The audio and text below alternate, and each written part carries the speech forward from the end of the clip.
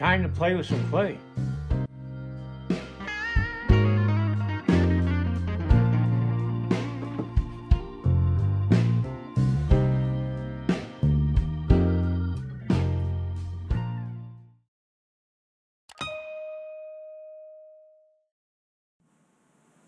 Okay, the third day on these feathers.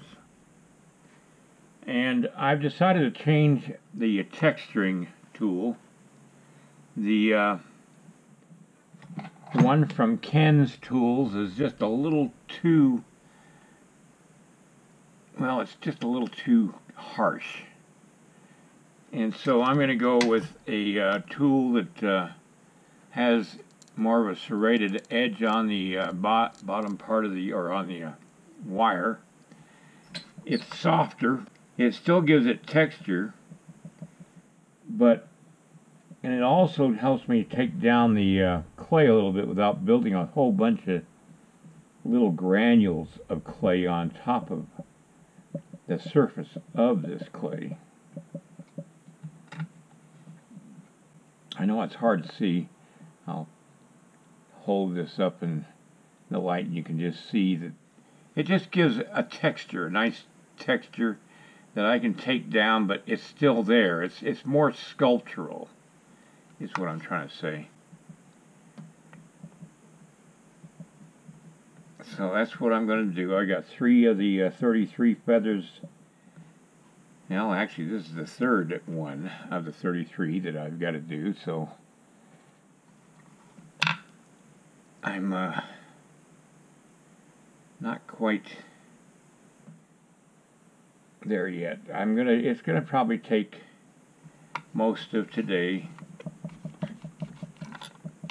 This part's the hardest part for me because my these this finger and this thumb are numb and it is painful as hell to do this. But you grit and bear it. It's like uh, everything else I've done on these, uh, it's painful. You just, when you get to 73 years of age, like I am, you learn to live with pain. and my pain is less than some people's. Believe me, there's a lot of people my age far more trouble than I got uh, health wise.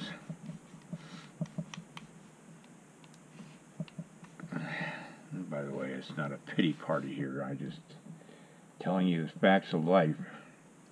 You young'uns have no clue what's in store for you when you get older. Of course, it may change by the time you get older. Maybe they'll have a a uh, medicine or a pill that'll give you back your youth.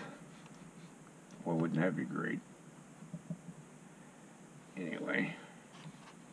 Alright, I'm going to just continue here and uh, I didn't mean to get sidetracked.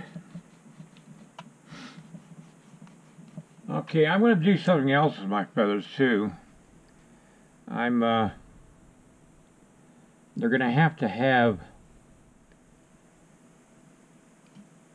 a uh, wrapped end to the uh, bottom end to the uh, quill and it would be uh, it would be in real life it would be a uh, piece of trade cloth that uh, wraps around the, the, bottom part to be a, a loop either leather or quill on the end that they could sew the feather onto the headdress with and these little ties uh, in the center and on the ends. There'd be three ties to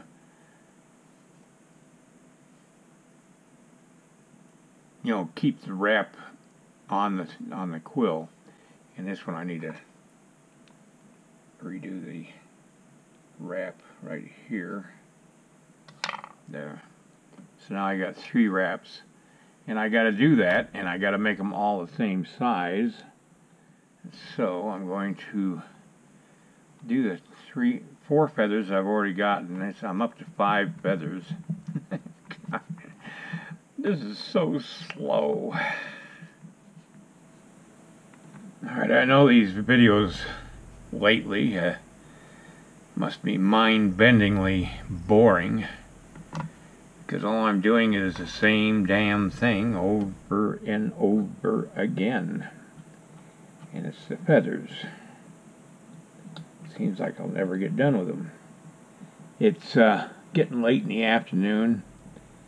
Um, let me put this aside for a second I'll show you what I got finished I've got one two, three, four, five, six, seven, eight, nine feathers done. I'm working on the tenth one.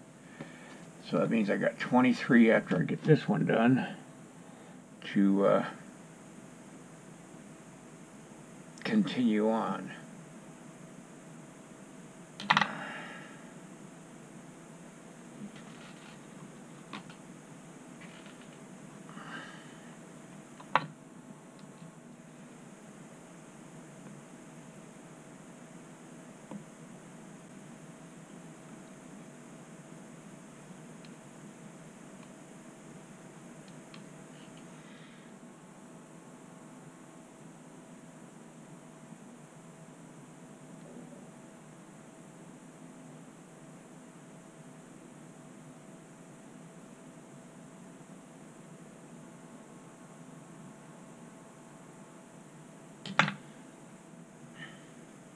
The reason I'm doing a whole feather again is so I can show you what I'm doing here.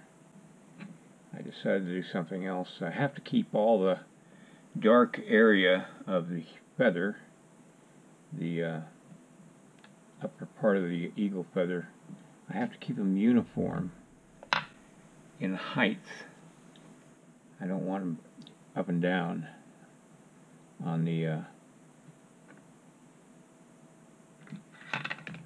pattern when I put all the feathers together. So it's just, uh, I'm using a cutout where the dark area started on the uh, cutout and I'm changing the texture on the upper part so that there's a definition between the lighter texture and the darker texture which is this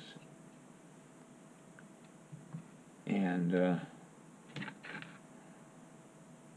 hard to believe I'm using three tools for this. And just outlining it too, so that when they patina the bronze, it'll be easy for them to see the difference. I think you can in that. And I'm not worried about the little granules. That'll add to the uh, coloring anyway. And I got to make it the same on the other side because it's got to be the same height on the other side.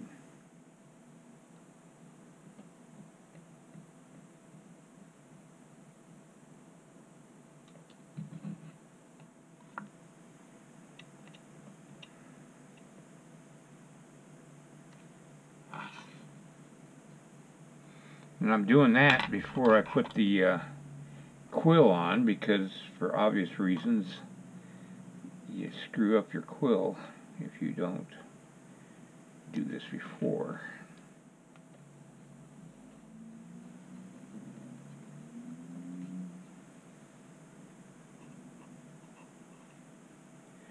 Now each feather would have um, a fluff at the end and a piece of horsehair. But I can't do that because it would be costly. So I'll just stick with what I got.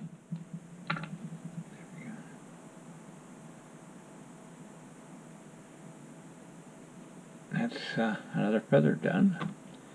So now I got six and I got, uh, man, got 29 to go